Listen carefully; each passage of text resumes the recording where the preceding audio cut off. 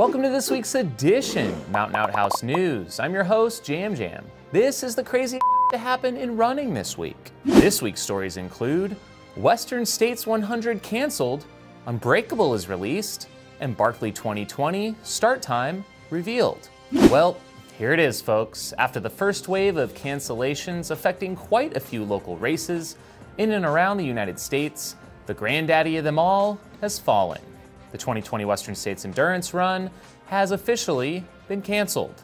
Reportedly, they were exhausting all options to postpone, but could not get approval from the state of California to do so. So there will be no Western States 100 in 2020.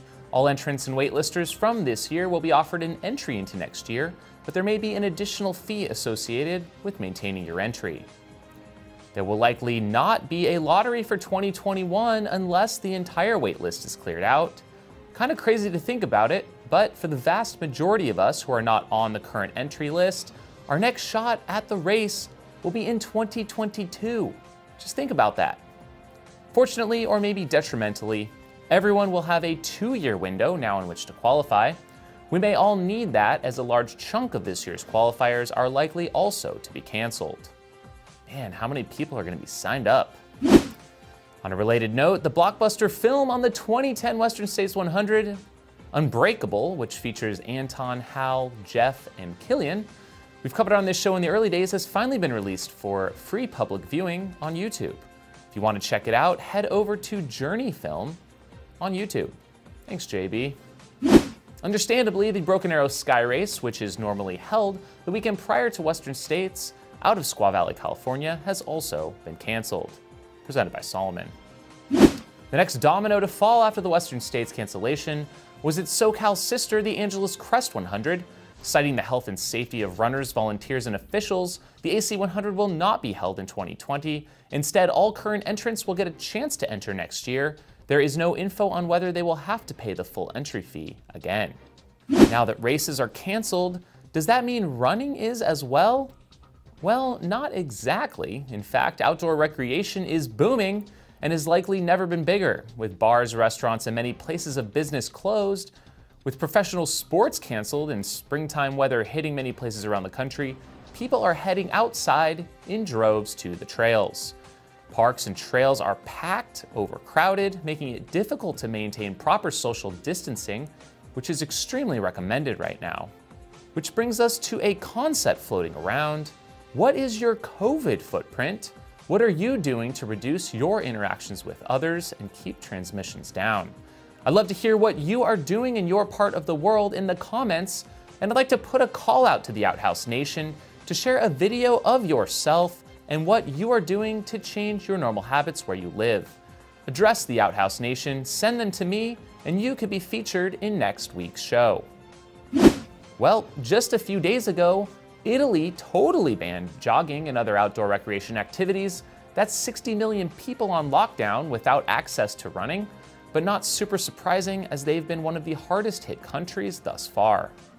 Some viewers from Utah were practicing their own social distancing while running with a little art, drawing this design with a combination of seven different runners. Pretty cool. Thanks to Kenise Hart for sharing, and credit goes to Kevin Traver for the video. If you're enjoying this week's show, please drop a like on the video and comment below your favorite story of the week and why. Ian Sharman is issuing a challenge in the one mile run. Do you know your mile time? Well, Ian decided to give it a shot and see if he could go for a personal best. Not sure he made that, but he busted out a 453. Not bad. If you'd like to join Ian, tag your all-out effort, hashtag FastMile. Okay, here's a story that put a smile on my face. With the Golden Trail series this summer in an unknown status, we can, for the time, check out this video posted by Joseph Lewis Roca on Twitter of a runner on a treadmill making his way up the infamous steep climb of Zegama virtually, with a cheering crowd encouraging him onward. Also getting in on some treadmill live streaming is not only Kilian, but also Pau Capell. These guys ran for three hours in a I Run at Home challenge, showing up on a stream with Jordi Zaragoza to raise money for COVID relief and research. It sounds like they were able to pull in over 82,000 euros. Amazing. Live streams, live streams, live streams. Have a feeling this is gonna be a, around for a while. The next thing I'm seeing are backyard live streams. All you need is a patch of grass, some buckets or cones, and you've got yourself some pretty exciting sports coverage, to be honest. For instance, Gareth Allen live streamed his short track marathon dubbed the Garden Marathon to literally tens of thousands of people online. Thrilling. Over the past week, we saw many groups, including the running community, entire countries, and more push for the postponement of the 2020 Olympic Games in Tokyo.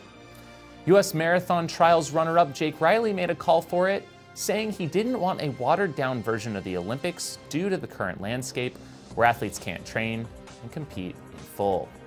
Canada even pulled out in advance of a decision which was finally made by the IOC to officially postpone the Olympic Games to 2021. This forced a domino effect on the global running calendar, with World Athletics already moving the 2021 World Champs to 2022. With the Barkley literally supposed to be happening as I film this episode, we do have one inspiring story related to the race that eats its young this year. 15th finisher John Kelly took on a five times Barkley Challenge Loop solo run, all within a 60 hour time limit. Since Frozen Head is only open dawn till dusk, John ran a double loop two days in a row, followed by a final fifth loop on his third morning. His first day, he ran the 41 miles in 7 hours 56 minutes. Loops 3 and 4 were run in 8.55, and his last loop was done in 4.41. This week's bonus story found in our Glasses Off post show. I will share some footage from Laz blowing this year's conch shell, reveal the would be start time of the race, and give the play by play of the Barkley Legends virtual race happening now. Gain access by joining Steep Life Media on Patreon. Michael Wardian, without any races to run, took to the Appalachian Trail for an attempt on the four state FKT. That's 42 miles along Pennsylvania, Maryland, West Virginia, and Virginia. John Kelly is the holder of that record time, no surprise there.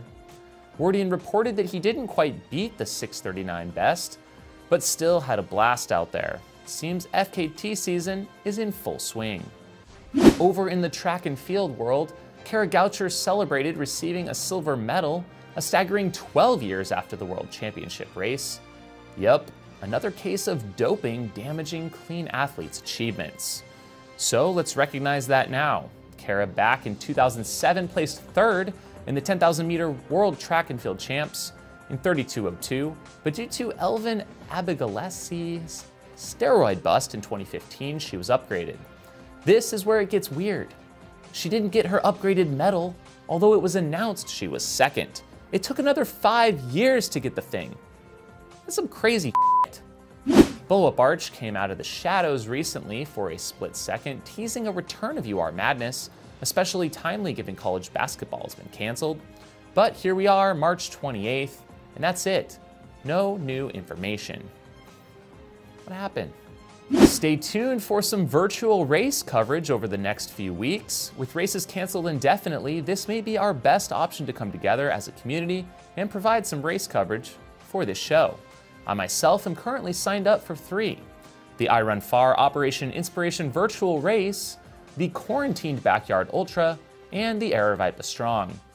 Still not sure if I'm going to go for the 50K or 50 miler Aravaipa Strong, but more to come on all three of them and I've linked them in the description below so you can join along too. Here's the Aravaipa Strong swag, by the way. I have a correction from last week's Georgia Loop FKT. Ben Feinson actually ran 11.25.25, but I incorrectly called out Ben Mercer's time, which was actually the supported record and still stands. Feinson ran unsupported. My apologies. Thank you for tuning in to episode 188 of Outhouse News. Be sure to subscribe to get the latest episode, and if you'd like to support the show, please join Steep Life Media on Patreon, where you'll enjoy bonus content each week right from me for as little as $2 per month. We want to mention by name our $25 level supporters and up. At the $100 level, Terry Rashid. At the $50 level, Squirrels Nut Butter, Brian Sands, Mark Grabowski, Renee Feint, Peter and Patty Curry, Peter Tower, Travis Longcar, Johnny, and the Twisted Fork Ultra out of Park City as well as our $25 level supporters, Bluebird Running Company, Sean Trujillo, Carrie Savage, Casey Carter, and Jeff Holbrook. And finally, if you'd like to own this custom pair of Jam Jam's Riot sunglasses, check out the link below. Have a shitty week.